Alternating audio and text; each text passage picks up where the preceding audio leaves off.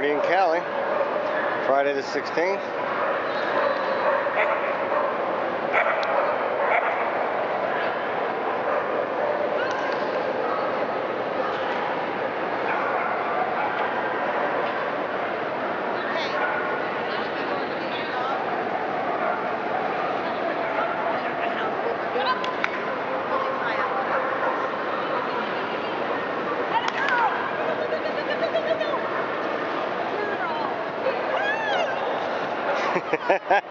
nice job.